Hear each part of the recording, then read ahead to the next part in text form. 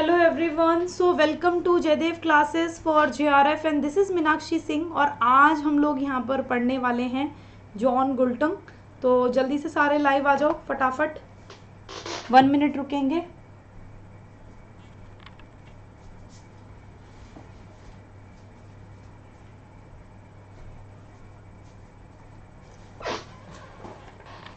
एक बार देख लेते हैं ऑडियो वीडियो क्लियर है।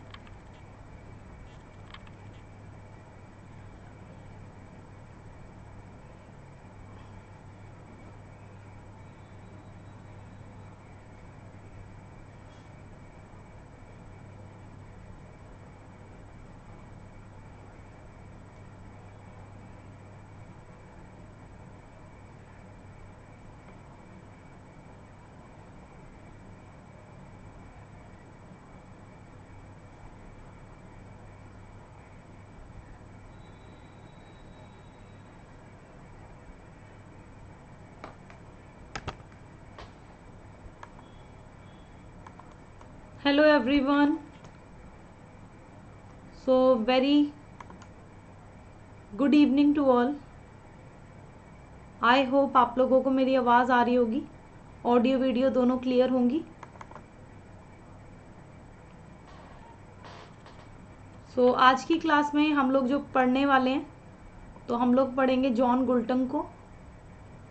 तो जल्दी जल्दी ज्वाइन कर लो फटाफट।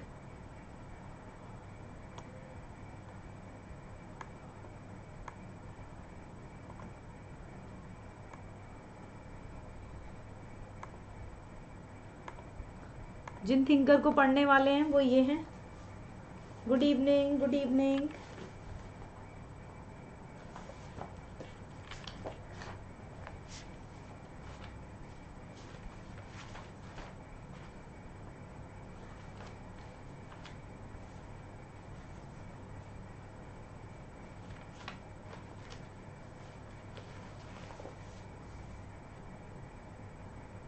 NTA UGC NET से इस टॉपिक से कौन जो है, इस टॉपिक से आप लोगों के लिए जो क्वेश्चन आया था तो इसी वजह से आज हम इस टॉपिक को यहाँ पर कवरअप करेंगे। ठीक है, काफ़ी बच्चों की डिमांड थी कि मैम ये करवाएँ। तो आज हम इस टॉपिक को यहाँ पर करने वाले हैं, John Galtung. So hello everyone Jaidev classes for JRF में आप सभी का वेलकम है। आप स्टार्ट कर सकते हैं अपनी प्रिपरेशन हमारे साथ और क्रैक कर सकते हैं। NET J R F SET P H D U P P G T U P H E S C exam को यहाँ पर आपके लिए क्रैश कोर्स चल रहा है। दूसरा जो है, आपका रिवीजन कोर्स चल रहा है। पेपर वन पे एम सी क्यूज़ कोर्स है। और यहाँ पर live classes test series study material PDF quizzes ये सारी चीज़ें आपको यहाँ पर कराई जा रही हैं। तो जो भी स्टूडेंट आना चाहते हैं ज्वाइन करना चाहते हैं, कर सकते हैं। तो वन मंथ का यहाँ पर जो है सब्सक्रिप्शन ये आपको टू थाउज़ेंड फाइव हंड्रेड का मिल जाएगा। और थ्री मंथ का five thousand five hundred six month eight thousand five hundred और ट्वेल्व मंथ का फिफ्टीन थाउज़ेंड नाइन हंड्रेड तो पंद्रह हज़ार नौ सौ का ये आप लोगों को पड़ जाता है। तो जो भी स्टूडेंट आना चाहें, आ सकते हैं। इसके अलावा आप लोगों के लिए जो है क्लासेस वाइज ऐप पर होती हैं। ठीक है? टेलीग्राम चैनल अगर आप ज्वाइन करना चाहते हो, हमारा कर सकते हो। तो टेलीग्राम चैनल जो है, वो है Jaidev classes for J link description box में है। इसमें आप लोगों को जो कराया जाता है ठीक है? हाँ बेटा, थोड़ा सा टाइम लग गया। एक्चुअली ना, मैं जॉन गुलटन का थोड़ा सा ये पेज बना रही थी तो इसी वजह से मुझे टाइम लग गया। और एक्चुअली हमारे यहाँ थोड़ी लाइट आ जा रही है बार बार तो उस वजह से भी हो गया थोड़ा। इसीलिए मैंने लेट ही स्टार्ट किया है, ठीक है? तो टेलीग्राम चैनल आप ज्वाइन कर सकते हो। अच्छा मीनाक्षी का बर्थडे है? अरे वाह, चलो। Happy birthday Meenakshi. God bless you और आप इस बार अपना जे ज़रूर लेकर आएँ, ठीक है? आप हमेशा खुश रहें। मेरी गुड विशेज़ आपके साथ हैं। Many many happy returns of the day enjoy your day चलो। अब देखो, जो भी बच्चे सब, यहाँ पर देखो, अगर आप लोगों को हमारा चैनल अच्छा लगता है, अगर लगता है बेनिफिशियल है तो ज़रूर हमारे चैनल को सब्सक्राइब करें, ठीक है? बेल आइकन को प्रेस करें और इसके अलावा डेली 4 पीएम फ्री क्लास होती है। तो आप उसे भी कर, क्या कर सकते हो? ज्वाइन कर सकते हो।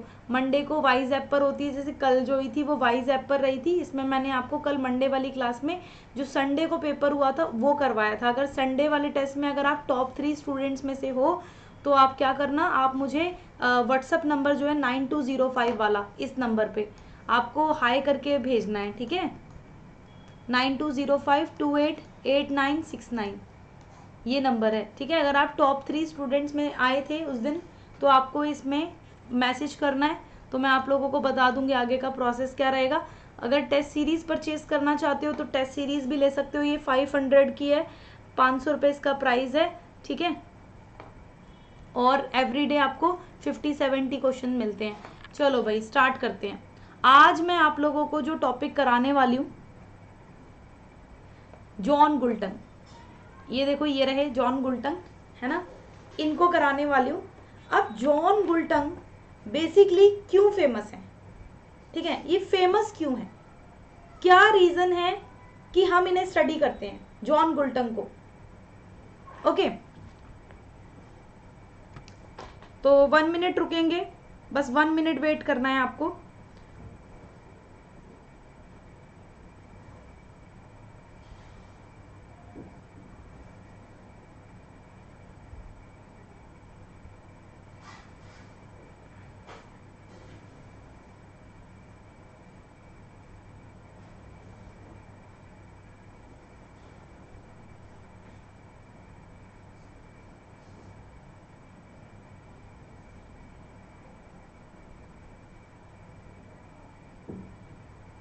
स्टार्ट करते हैं बस। One minute wait.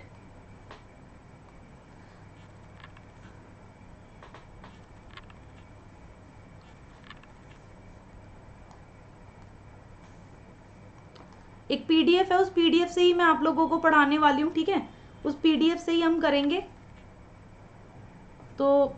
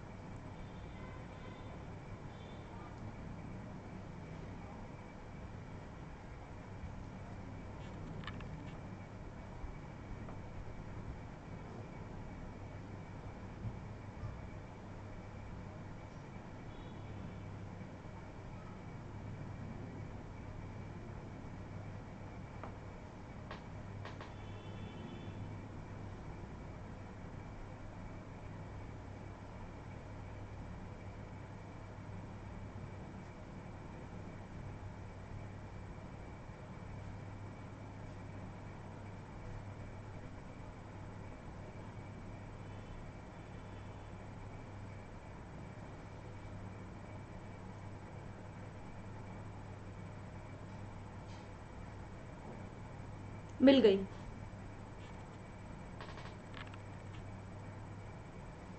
बस बस, हो गया। एक्चुअली पहले मैं सोच रही थी आप लोगों को लिख के कराने की। अब मैंने सोचा कि आपको पीडीएफ से ही करा देती हूँ।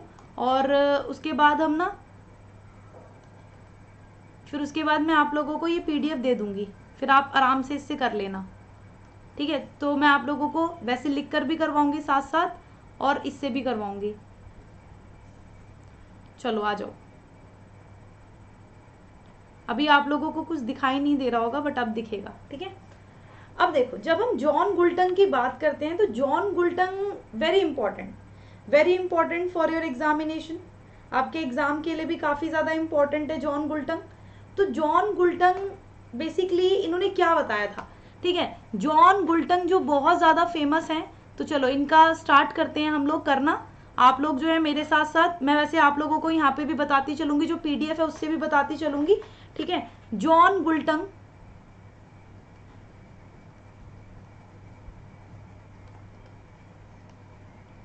इन्होंने थ्री ट्राइंगल दिया था।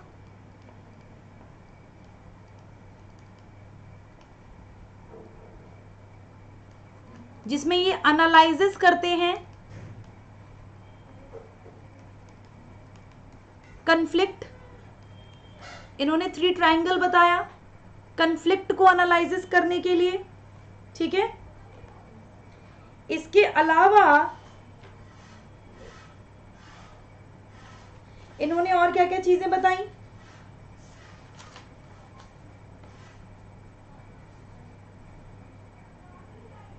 नेगेटिव पीस और positive peace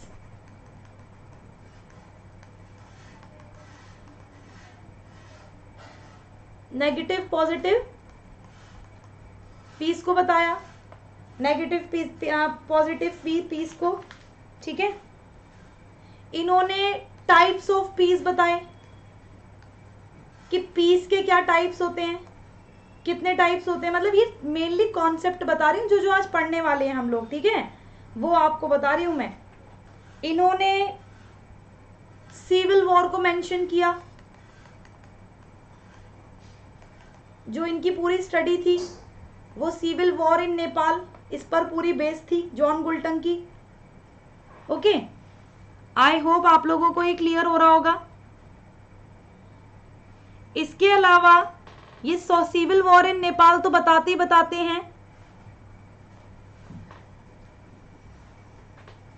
इन्होंने और क्या बताया? इन्होंने टाइप्स ऑफ़ वायलेंस बताए। ठीक है, इन्होंने टाइप्स ऑफ़ वायलेंसेस बताए कि कितने टाइप्स के वायलेंस होते हैं। बाकी इनकी जो मोस्ट इंपॉर्टेंट बुक्स हैं, अगर आप बुक्स देखोगे तो बुक्स में फ़र्स्ट नंबर पे आती है इनकी, जो इंपॉर्टेंट है।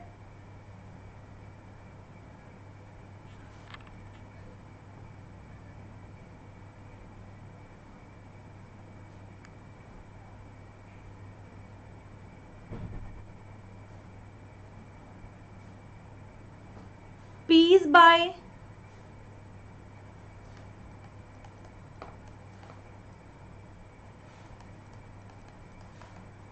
Peaceful means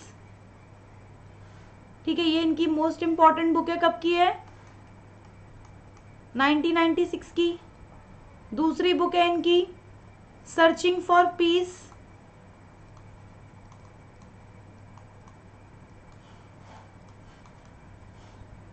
searching for peace है 2000 की। और इस, इनकी तीसरी बुक है।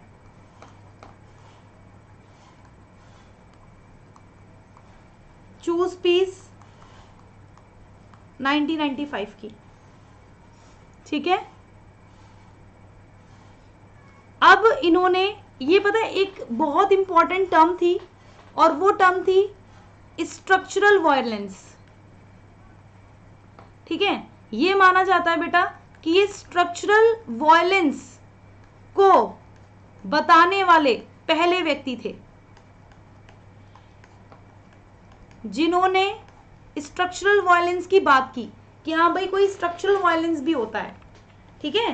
तो जॉन गुल्टन की जब हम बात करते हैं द पीपल्स वॉर और सिविल वॉर इन नेपाल, ये रिगार्ड करते हैं मोस्ट सक्सेसफुल माओइस्ट इंटरवेंशन था, ठीक है?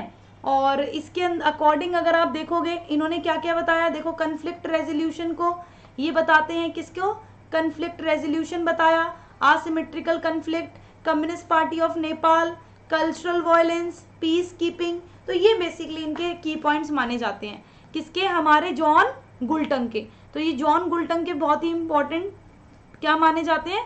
अब देखो, ये पूरी जो है ना, ये एक पीडीएफ है। अगर आप चाहो तो इसे पढ़ सकते हो बेसिकली ठीक है ये एक पीडीएफ है जिसमें सारी चीज़ें हैं। एक क्वेश्चन भी आया था एन टी नेट में तो उसका पूरा यहाँ से आप लोग कर लोगे कि क्या क्या बताते हैं। इन्होंने देखो कॉन्ट्रडिक्शन बताए कॉन्ट्रडिक्शन में कितने टाइप्स के बताते हैं वही सारी चीज़ें आज हम लोग डिस्कस करेंगे। फिर ये स्ट्रक्चरल असिमिट्री को बताते हैं फिर इन्होंने आ, क्या बताया? इन्होंने बेसिकली कन्फ्लिक्ट बताया कि कन्फ्लिक्ट कितने प्रकार के होते हैं वही सारी चीज़ें आज हम इसमें डिस्कस करने वाले हैं। ठीक है, ये सारी चीज़ें हम लोग डिस्कस करेंगे। तो चलो डिस्कस करते हैं और इसी तरह से चीज़ों को हम लोग, जॉन गुल्टंग को हम लोग कंप्लीट करेंगे कि जॉन गुल्टंग ने, देखो, जॉन गुल्टंग ने कितने प्रकार के, तीन टाइप के थ्री टाइप्स के वायलेंस बताए थे स्ट्रक्चरल वायलेंस डायरेक्ट वायलेंस और कल्चरल वायलेंस ठीक है तो ये पीडीएफ भी मैं आप लोगों को दे दूँगी, लेकिन जो मैंने अपने नोट्स बनाए हैं, जैसे मैंने इसको पूरा पूरा पढ़कर जो बिल्कुल शॉर्ट में नोट्स बनाए हैं तो उससे मैं आप लोगों को लिख लिख कर उधर से करवाऊँगी। ठीक है बाकी ये पीडीएफ भी आप लोगों को मिल जाएगी तो आप लोग यहाँ से कर लेना। ओके? तो स्ट्रक्चरल वायलेंस को बताने वाले क्या, कैसे व्यक्ति थे? ये पहले व्यक्ति थे। तो ये ध्यान रखना। अब जॉन गुल्टन, जब हम बात करते हैं जॉन गुल्टन की तो इन्होंने सबसे पहले मैंने क्या बताया आपको? सबसे पहले मैंने बताया कि थ्री ट्राइंगल एनालिसिस करते हैं ये कन्फ्लिक्ट का। चलो, उसी को सबसे पहले हम डिस्कस कर लेते हैं। ठीक है, सबसे पहले हम उसी को डिस्कस करेंगे किसको? थ्री ट्राइंगल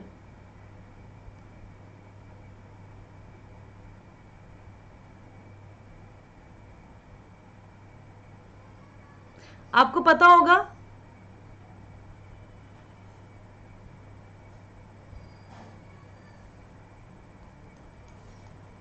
ये पीस स्टडी में सबसे ज़्यादा इंपॉर्टेंट माने जाते हैं। Three triangle analysis of conflict मतलब देखो, उतनी बड़ी पीडीएफ जो है, उसको पढ़कर जो निचोड़ निकाला है मैंने, वो यहाँ पर मैं करवाऊँगी। थ्री ट्राइंगल्स तो फ़र्स्ट ट्राइंगल क्या करता है? जो फ़र्स्ट ट्राइंगल है आपका तो फ़र्स्ट ट्राइंगल में हम क्या देखते हैं? फ़र्स्ट ट्राइंगल फॉलो करता है इसमें attitudes contradiction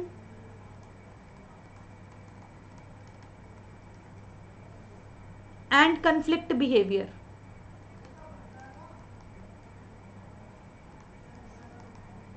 I hope मेरी राइटिंग समझ आ रही होगी। ये फ़र्स्ट ट्राइंगल हो गया। अब सेकेंड ट्राइंगल किससे रिलेटेड है? सेकेंड ट्राइंगल में हम वॉयलेंस को देखते हैं। ठीक है? क्या देखते हैं? वॉयलेंस कि वॉयलेंस जो होते हैं, वो तीन प्रकार के होते हैं। एक होता है कल्चरल वॉयलेंस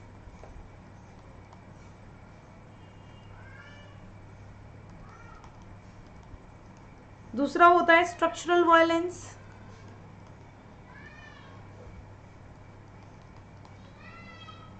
और थर्ड टाइप में आता है डायरेक्ट वायलेंस तो कोई भी कंफ्लिक्ट होगा, आप उसमें तीन प्रकार के वायलेंस देखोगे. कल्चरल वायलेंस होता है स्ट्रक्चरल वायलेंस होता है डायरेक्ट वायलेंस होता है. जो थर्ड ट्राइंगल है बेटा थर्ड ट्राइंगल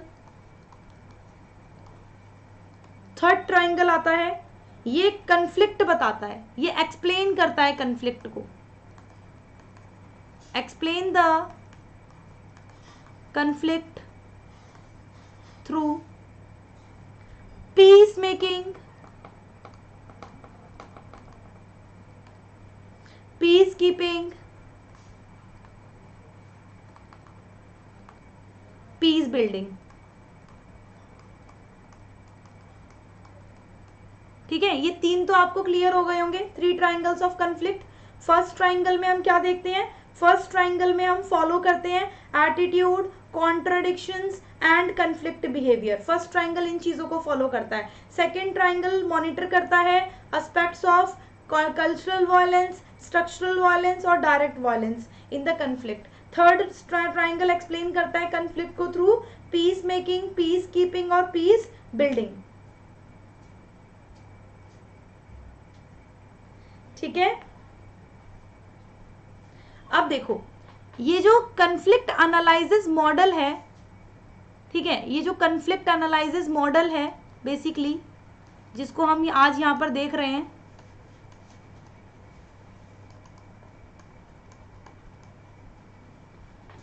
इसको प्रपोज किया था जॉन गुल्टन ने।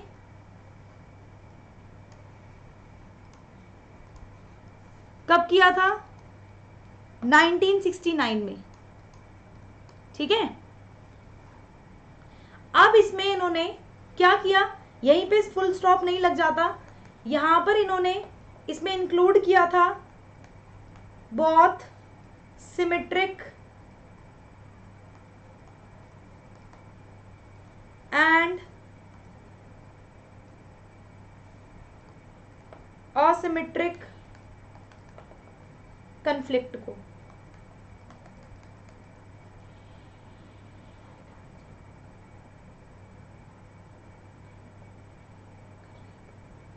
ठीक है?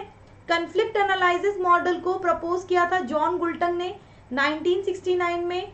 सिमेट्रिक और असिमेट्रिक कंफ्लिक्ट को इसमें बताया था। सिमेट्रिक कंफ्लिक्ट और असिमेट्रिक कंफ्लिक्ट ठीक है?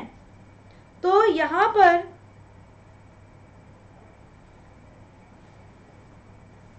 अब बेसिकली उन्होंने कंफ्लिक्ट को कैसे देखा?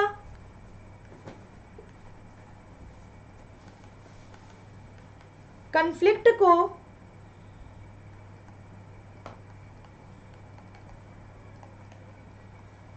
कंफ्लिक्ट को देखा जाता है एक ट्राइंगल के तौर पे। उन्होंने ट्राइंगल से कंपेयर किया कंफ्लिक्ट को, ठीक है? उसकी जो साइड है, उस ट्राइंगल की जो साइड है ना वो क्या कर रही हैं? वो रिप्रेजेंट करती हैं। ए बी और सी को। चलो ट्राइंगल बना के देखें। ट्राइंगल बना के देखते हैं कैसे भाई? कैसे ये रिप्रेजेंट कर रही हैं? चलो हम ट्राइंगल बनाते हैं। अरे भाई, ये क्या हो गया?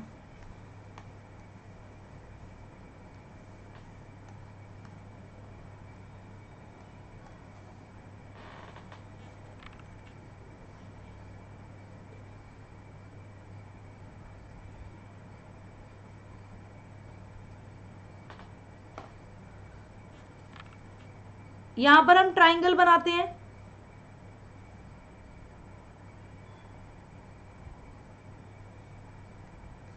ठीक है? तो जो ट्राइंगल हो जाएगा A B C I hope सबको क्लियर हो रहा होगा। अब ये ए बी सी क्या है? एक बार मुझे बताओ, सबको क्लियर हो रहा है?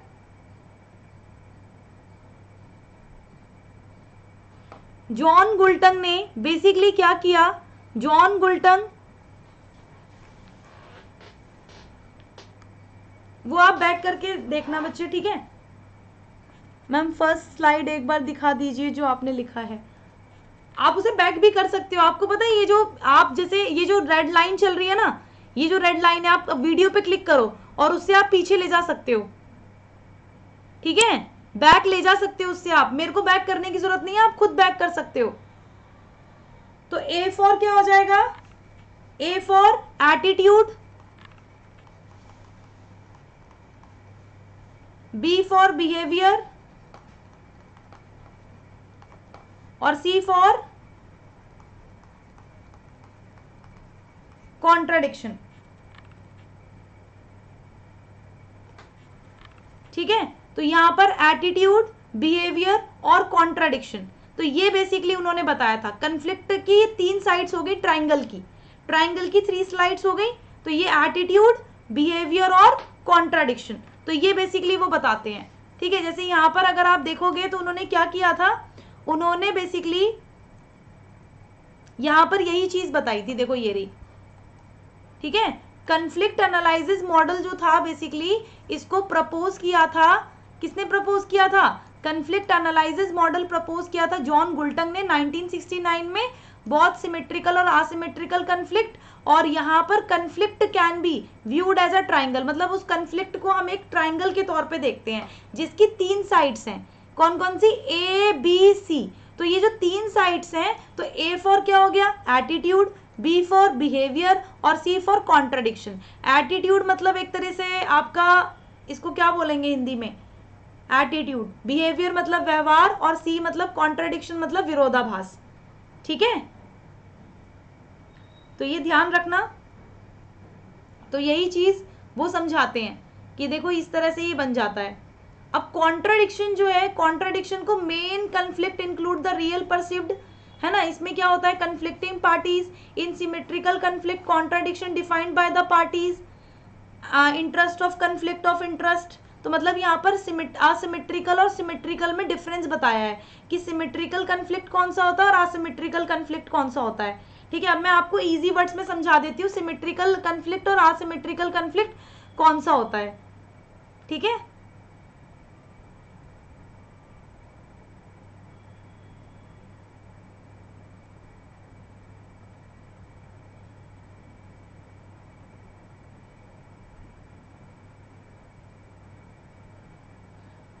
चलो, यहाँ तक सबको क्लियर हो रहा है?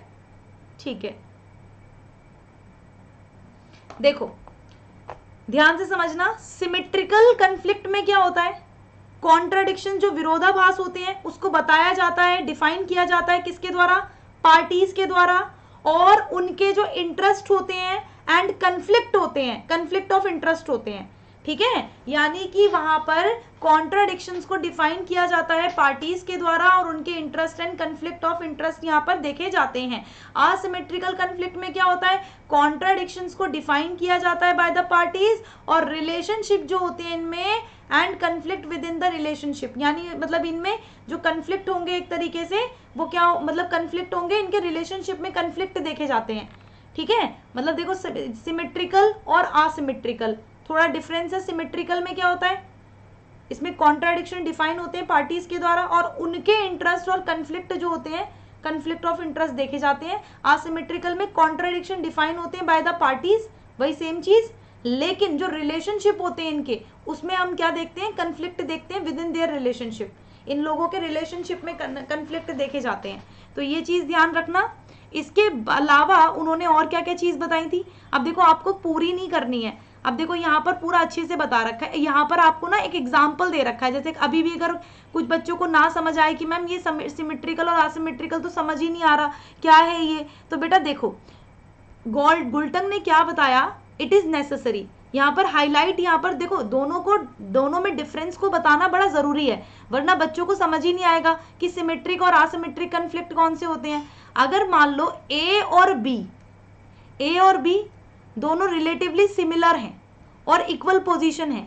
तो जब अगर इन दोनों में कंफ्लिक्ट होता है, जैसे मान लो कि, चलो आप लोगों का एग्ज़ाम्पल ले लेती हूँ, ठीक है? जैसे मान लो हमारी, जैसे हमारे स्टूडेंट्स हैं, ठीक है? हमारे जो स्टूडेंट्स हैं बेसिकली तो इनमें क्या है? इनमें अगर आप देखोगे तो इनमें एक चीज़ हम देखने के लिए हम मिलती है कि दो लोग सेम है। अभी आप लोग स्टडी अभी सब एन टी यूजीसी नेट की तैयारी कर रहे हो। ठीक है, जैसे मीनाक्षी, ये मीनाक्षी हो गई, ठीक है, और ये हो गई हमारी, ये हमारा शुभम हो गया, ठीक है। अगर इन दोनों में लड़ाई होती है, इन दोनों में कंफ्लिक्ट होता है तो बताओ इसको सिमेट्रिकल बोलोगे या असिमेट्रिकल बोलोगे? जब ये इक्वल पोजीशन पर होंगे, जब ये इक्वल अगर आप देखोगे सिमिलर होंगे दोनों, क्योंकि सिमिलर ही है। दोनों एनटीए यूजीसी नेट की तैयारी कर रहे हैं। है ना? दोनों एनटीए यूजीसी नेट की तैयारी कर रहे हैं। तो यहाँ पर जो होगा आप लोगों का तो वो क्या कहलाएगा? वो बेसिकली सिमेट्रिकल कंफ्लिक्ट हो जाएगा। ठीक है? वो क्या कहलाएगा? सिमेट्रिकल कंफ्लिक्ट ठीक है? उसके बाद अगर आप देखो, जब अगर हम मान लें वैन इन रिलेशनशिप ए और बी ए और बी अगर देखो, इनमें clearly superior standing compare to other यानी जो, जैसे मान लो, अगर आपकी लड़ाई किससे होती है? आपकी लड़ाई मान लो एक टीचर से हो रही है जैसे मुझसे हो रही है, चलो, मान लो मुझसे हो गई, ठीक है? और यहाँ पर दूसरी तरफ़ कौन है? यहाँ पर दूसरी तरफ़ शिवरतन है, ठीक है? शिवरतन कह रहा है, जैसे यहाँ पर ये UGC NET political science student है ना? मैम, कुछ तो हिंदी में बता दो, ठीक है? अब ये देखो, ये बच्चे अभी हिंदी हिंदी मांगते रहेंगे कि मैम हिंदी हिंदी ये टॉपिक ही हिंदी में छोड़ जाए। मतलब हिंदी हिंदी मांगते मांगते ये टॉपिक ही निकल जाएगा इनका। लेकिन ये ये चीज़ नहीं समझेंगे कि मैं जो समझा रही हूँ, ठीक है? फिर क्या होगा? ये बहुत रेयर टॉपिक होते हैं, बहुत रेयर हिंदी में नहीं मिलते, ठीक है? बहुत रेयर टॉपिक होते हैं, ढूंढते रहना, हिंदी में मिलेंगे ही नहीं। इसीलिए बड़ी सिंपल लैंग्वेज में मैं समझा रही हूँ आपको, ऐसा नहीं है, मैं इंग्लिश बोल रही हूँ, ऐसा बिल्कुल भी नहीं है, ठीक है? जैसे मुझे ये मिला है, उसी तरह से आपको भी उसी इसमें मिलेगा ये तो बहुत ही रेयर टॉपिक होते हैं, हिंदी में अवेलेबल नहीं है तो पूरे टाइम हिंदी हिंदी मांगते मांगते टॉपिक निकल जाएगा। बहुत सारे बच्चे क्लास छोड़ के चले जाएँगे, छोड़ जाओ, कोई दिक्कत नहीं है। क्लास छोड़ जाओ, नुकसान आपका है। ठीक है? जब जॉन गुल्टन से क्वेश्चन आ जाएगा, फिर ढूंढोगे कि भैया ये कहाँ मिलेगा। जॉन गुल्टन ने ये बताया था या नहीं बताया था? एनटीए यूजीसी नेट का ये आया हुआ क्वेश्चन है। इसीलिए जॉन गुल्टन बता रही थी मैं तो ध्यान से समझना। सिमेट्रिकल कंफ्लिक्ट तब होता है जब दो ही एनटीए यूजीसी नेट के बच्चे आपस में लड़ गए।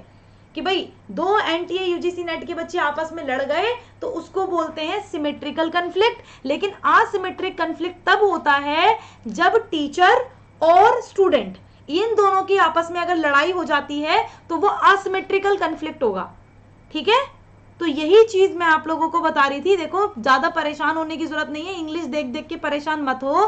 ठीक है? मैं इंग्लिश में वहाँ पर नहीं बता रही हूँ। इंग्लिश देख देख के भी बच्चे कुछ परेशान हो रहे हैं। मैम, ने हिंदी इंग्लिश वाली स्लाइड दिखा दी है। ठीक है? चलो, इधर आ जाओ। ठीक है? यहाँ तक सबको समझ आ गया होगा आई होप अब मैं आप लोगों को देखो मेन जो और चीज़ें हैं, वो बता देती हूँ। और इन्होंने क्या बताया था? इन्होंने दो प्रकार की बताई थी। देखो, ये बताते हैं कि ये फादर हैं। किसके? इनको कंसिडर्ड किया जाता है फादर किसका? पीस स्टडीज़ का। ये पीस स्टडी के फादर हैं। इसीलिए इन्होंने क्या किया था बेटा? इसीलिए इन्होंने डिस्टिंक्शन किया था। डिस्टिंक्शन करते हैं ये। नेगेटिव पीस और पॉजिटिव पीस में। Negative peace and positive peace में डिफरेंस करते हैं। अब मैं देखो हिंदी में लिख रही हूँ। नेगेटिव पीस का मतलब होता है जहाँ पर हिंसा की अनुपस्थिति होती है। हिंसा की अनुपस्थिति। ठीक है? Absence of violence negative peace positive peace जहाँ पर संबंधों की पुनर्स्थापना होती है। जहाँ पर संबंध जो हो, वो पुनः स्थापित हो। ठीक है? संबंधों की जो पुनर्स्थापना होगी तो वो कहाँ पर होगी? पॉजिटिव पीस में, नेगेटिव, जहाँ पर हिंसा की अनुपस्थिति रहेगी। तो ये ध्यान रखना। अब जैसे, अब मैं आप लोगों को डिफरेंस बता देती हूँ करके। ठीक है, चलो, हम एक टेबल बनाते हैं और टेबल में डिफरेंस करते हैं।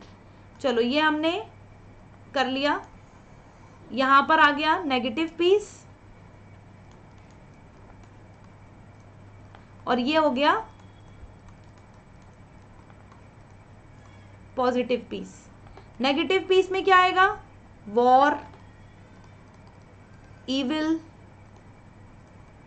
कन्फ्लिक्ट रिप्रेशन और वायलेंस नहीं आएगा वायलेंस भी आएगा, है ना? और पॉजिटिव में क्या आएगा?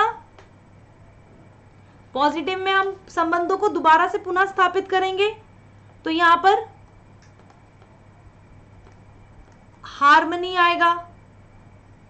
Share human shared human values हम ह्यूमन वैल्यूज़ को शेयर करते हैं, ठीक है? मानवीय मूल्यों को साझा करना ह्यूमन बॉन्ड्स को स्ट्रेंथन करना।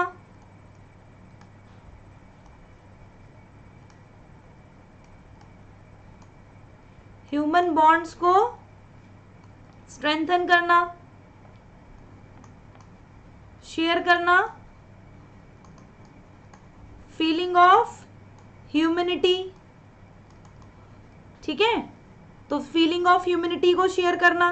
तो ये बेसिकली आ जाता है नेगेटिव पीस और पॉजिटिव पीस में डिफरेंस ठीक है? तो ये ध्यान रखना सारे बच्चे। अब मैं आप लोगों को वॉयलेंस बता देती हूँ कि वॉयलेंस उन्होंने तीन प्रकार का बताया था, उसको मैं हिंदी में ही आप लोगों को बताऊँगी। ठीक है? वॉयलेंस उन्होंने वॉयलेंस बताया। जो वॉयलेंस है आपका वॉयलेंस को उन्होंने तीन प्रकार के बताया। कौन कौन सा होता है? चलो इसमें एक हम बना लेते हैं ऐसे। ट्राइंगल बना के। पहला। डायरेक्ट वॉयलेंस स्ट्रक्चरल वायलेंस और कल्चरल वायलेंस अब देखो जो वायलेंस है, ठीक है, तीन प्रकार के हो गए. डायरेक्ट स्ट्रक्चरल और कल्चरल अब एक एक करके समझो. डायरेक्ट वायलेंस कौन सा होगा? डायरेक्ट वायलेंस जो होता है, जो डायरेक्टली हम प्रत्यक्ष रूप से देखते हैं जिसको. प्रत्येक रूप प्रत्येक रूप से देखते हैं तो वो हो गया डायरेक्ट इसमें और क्या होता है? इसमें शारीरिक और मौखिक हिंसा होती है। शारीरिक और मौखिक हिंसा देखी जाती है। ठीक है? इसमें अपराधी तथा विक्टिम दोनों आ जाते हैं। अपराधी और विक्टिम इसके अंदर हत्या, शारीरिक हिंसा, यौन हिंसा इत्यादि ये सब आता है। ये डायरेक्ट वायलेंस में आता है। ठीक है? फिर दूसरा आता है स्ट्रक्चरल वायलेंस स्ट्रक्चरल वायलेंस कौन सा होता है? स्ट्रक्चरल वायलेंस वो होता है हिंसा सदैव दृश्य नहीं होती। मतलब ऐसा थोड़ी हम हमेशा आपको देखने के लिए मिले। है ना? हिंसा दृश्य, सदैव दृश्य नहीं हो सकती। मतलब जो आपको देखने के लिए मिले। इसमें क्या होता है, जो जो स्ट्रक्चरल यानी संरचनात्मक हिंसा होती है, इसमें क्या होता है, समाज की संरचना में मौजूद अन्याय और असमानता। समाज में जो मौजूद है अन्याय और असमानता, वो है स्ट्रक्चरल समाज में मौजूद है ये, पहले से। आपने देखा होगा काफ़ी लोगों के साथ क्या किया जाता है? अन्याय किया जाता है, असमानता इनइक्वालिटी ये सब होता है, ठीक है?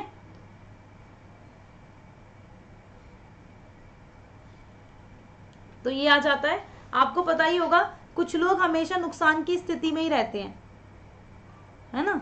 और वो किसी भी हिसाब से रह रहे हो, चाहे कि वो उनका रिलीजन के अकॉर्डिंग हो रहा है, या फिर कास्ट के अकॉर्डिंग हो रहा है, ठीक है? तो कुछ लोग नुकसान की स्थिति में देखते हैं हम लोग।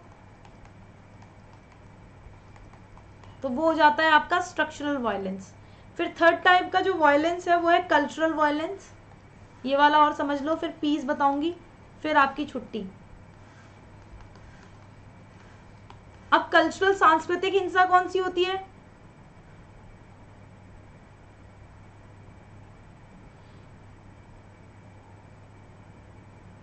ये भी कैसी होती है? ये अगर आप देखोगे, आदृश्य होती है। नहीं दिखती, पहला पॉइंट दूसरा,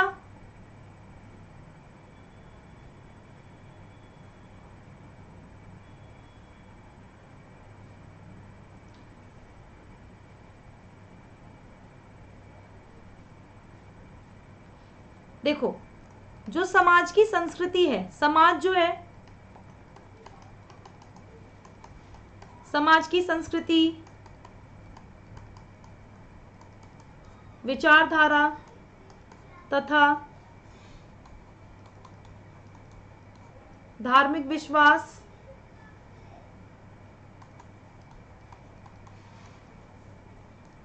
जो समाज होता है, समाज संस्कृति, विचारधारा, धार्मिक विश्वास से जुड़ा है है ना? जो हमारा समाज है। तो बेसिकली यहाँ पर क्या है? यहाँ पर, ठीक है? तो इसके अंदर अगर आप देखोगे तो यहाँ पर क्या होता है, जो चीज़ें मानकर, जो चीज़ें मानकर चली जाती है ना कल्चरल वायलेंस में क्या आता है बेटा? ऐसी सामाजिक मान्यता, ऐसी सामाजिक मान्यता, जो मानकर चलती है कि प्रत्यक्ष तथा संरचनात्मक हिंसा प्राकृतिक और उचित होती है। ठीक है, अब इसका एग्ज़ाम्पल क्या होगा? कल्चरल वायलेंस का? जैसे अगर आप देखो, यूरोपीय लोग मान, यूरोपीय लोग जैसे बहुत सारे लोग दास दास व्यापार को अच्छा मानते हैं ना। दास व्यापार को प्रोत्साहन देते हैं। तो ये इसका एग्ज़ाम्पल हो गया। ठीक है? जैसे चीज़ें मानकर चली जा रही हैं जैसे चीज़ें होती हुई आई हैं उसको वो करना। ठीक है? लेकिन दास व्यापार बे, बेकार है ना? अच्छा है बेकार है। बेकार है। बेकार है ना दास व्यापार तो? तो इसी वजह से। तो ये ध्यान रखना। मैं दोबारा से बता देती हूँ अगर नहीं समझ में आया। देखो क्या होता है? उन्होंने जॉन गुल्टन ने तीन प्रकार के वायलेंस बताए थे। एक होता है डायरेक्ट वायलेंस दूसरा होता है स्ट्रक्चरल वायलेंस और तीसरा होता है कल्चरल यानी डायरेक्ट मतलब प्रत्यक्ष स्ट्रक्चरल मतलब संरचनात्मक और कल्चरल मतलब सांस्कृतिक। तो ये जो डायरेक्ट वायलेंस होता है आप लोगों का तो डायरेक्ट वायलेंस में क्या होता है? ये बेसिकली शारीरिक और मौखिक हिंसा होती है, हत्या होती है, यौन हिंसा होती है। जैसे केन्या में 2008 में राजनीतिक धार्मिक समुदायों की बीच हिंसा हुई थी ना, उसको डायरेक्ट वायलेंस बोलेंगे। फिर स्ट्रक्चरल वायलेंस में क्या होता है? समाज की संरचना में मौजूद जो अन्याय, ठीक है, और भेदभाव, ये सब चीज़ें इसमें आ जाती हैं दूसरे वाले में स्ट्रक्चरल में। और कल्चरल में ऐसी सामाजिक मान्यता मानकर चलती है कि प्रत्यक्ष और संरचनात्मक हिंसा प्राकृतिक और उचित है, जैसे दास व्यापार को उचित मानना। काफ़ी लोग दास व्यापार को उचित मानते हैं। तो ये फिर क्या हो गया? ये कल्चरल वायलेंस हो गया। ठीक है? तो ये ध्यान रखना सारे बच्चे। तो ये आप लोगों का हो जाता है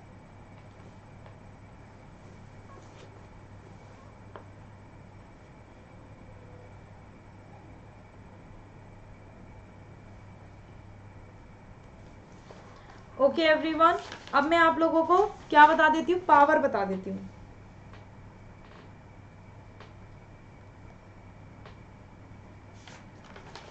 ठीक है?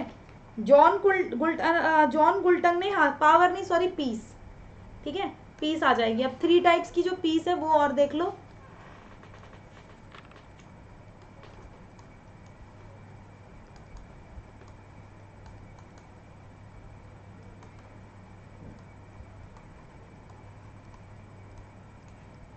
थ्री टाइप्स की पीस बताई थी। ठीक है फ़र्स्ट क्या होगा?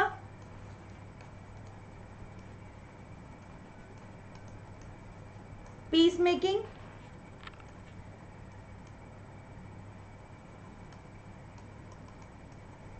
corresponding plus behaviour दूसरे में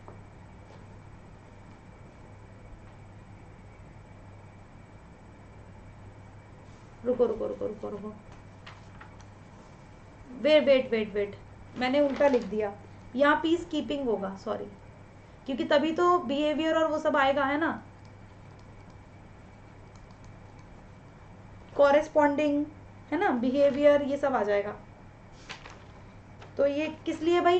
कॉरेस्पॉन्डिंग और बिहेवियर क्यों होना चाहिए भाई? क्योंकि हम एंड करना चाहते हैं। डायरेक्ट वायलेंस का। ताकि हम एंड कर पाए डायरेक्ट वायलेंस का। इसलिए, फिर दूसरा आता है पीस मेकिंग ठीक है, जो पीस मेकिंग है पीस मेकिंग में क्या आएगा?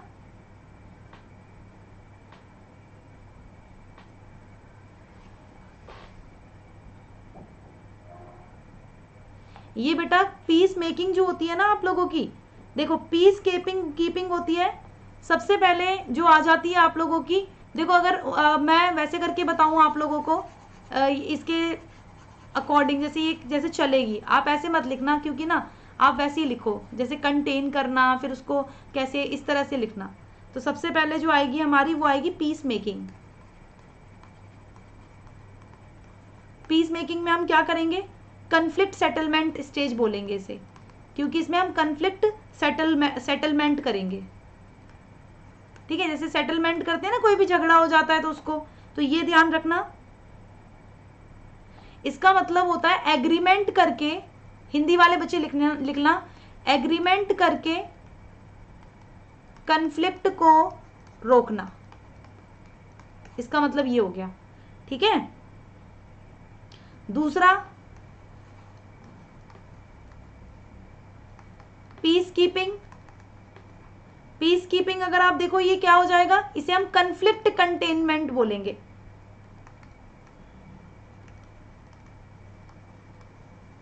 कंफ्लिक्ट कंटेनमेंट स्टेज जो कंफ्लिक्ट कंटेनमेंट स्टेज है, यहाँ पर क्या होता है? पहले तो एग्रीमेंट हो गया ना? अब एग्रीमेंट को क्या करेंगे? इंप्लीमेंट करेंगे, है ना? एग्रीमेंट को इंप्लीमेंट करने यहाँ पर क्या होगा? इंप्लीमेंट करने की कोशिश करेंगे। ठीक है? और यहाँ पर दूसरा सीज फायर जो सीज फायर होता है, उसको भी बनाए रखने की कोशिश की जाती है।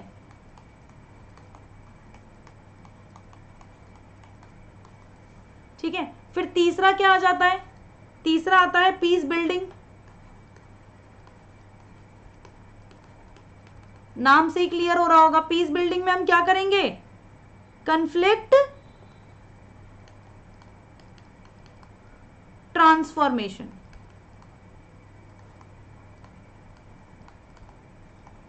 है ना? कंफ्लिक्ट ट्रांसफॉर्मेशन यानी इसमें हम क्या करेंगे? ये कंफ्लिक्ट रेजोल्यूशन की हाईएस्ट स्टेज है।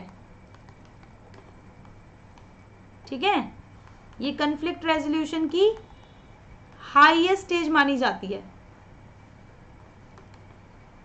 ये हाईएस्ट स्टेज मानी जाती है। यानी इसमें क्या होता है? बिल्कुल कन्फ्लिक्ट हम खत्म कर देते हैं।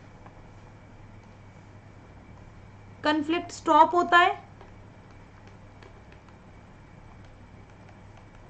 स्टॉप करवाया जाता है। उसकी जड़ या कारण का पता लगाकर?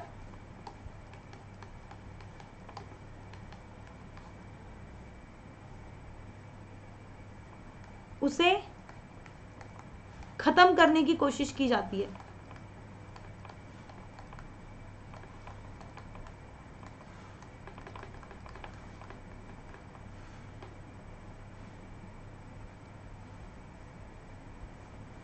आई होप यहाँ तक क्लियर हो गया होगा। तो ये हो जाता है आपका। ठीक है? मैं दोबारा से एक बार रिपीट कर देती हूँ। अगर किसी बच्चे को क्लियर नहीं हुआ है तो बहुत ज़्यादा इंपॉर्टेंट है। इससे question N T UGC NET में आया था और आप लोगों को पता है, कुछ क्वेश्चन जो होते हैं, वो वैसे क्या होते हैं? वो थोड़ा एग्ज़ाम में चेंज करके एग्जामिनर पूछ लेता है। तो आपको ये करना है कि आप एन टी नेट के पेपर से पहले आप लोग क्या करो? आप लोग अच्छे से देख लो कि क्या करना है। तो जॉन गुल्टंग ने थ्री टाइप्स ऑफ़ पीस बताए पीस मेकिंग ये कन्फ्लिक्ट सेटलमेंट स्टेज है एग्रीमेंट को एग्रीमेंट को एग्रीमेंट करके कन्फ्लिक्ट रोकते हैं। फिर पीस कीपिंग में कन्फ्लिक्ट कंटेनमेंट है एग्रीमेंट को इम्प्लीमेंट करने की कोशिश की जाती है और सीज फायर को जारी रखने की कोशिश होती है। पीस बिल्डिंग में कन्फ्लिक्ट ट्रांसफॉर्मेशन होता है कन्फ्लिक्ट रेजोल्यूशन ये हाईएस्ट स्टेज है और कन्फ्लिक्ट को स्टॉप करवाया जाता है और उसकी जड़ और या कारण का पता लगाकर उसे खत्म करने की कोशिश की जाती है। तो यहाँ पर ये हो जाता है फिनिश ठीक है?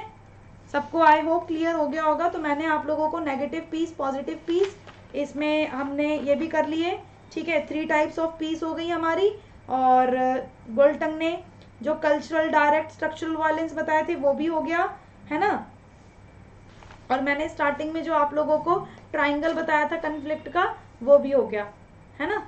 तो उन्होंने थ्री मतलब थ्री ट्राइंगल्स बताए थे थ्री ट्राइंगल्स फ़र्स्ट ट्राइंगल जो था ठीक है? ऐसे करके बताए थे। आप थ्री ट्राइंगल्स में आपको लास्ट में भी बनवा के चली जाती हूँ, कोई प्रॉब्लम नहीं है मुझे।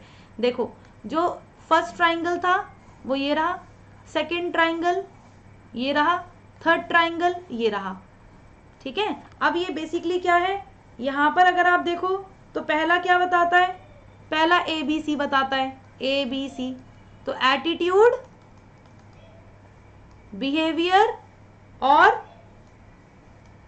कॉन्ट्राडिक्शन, ठीक है? और दूसरा क्या बताता है?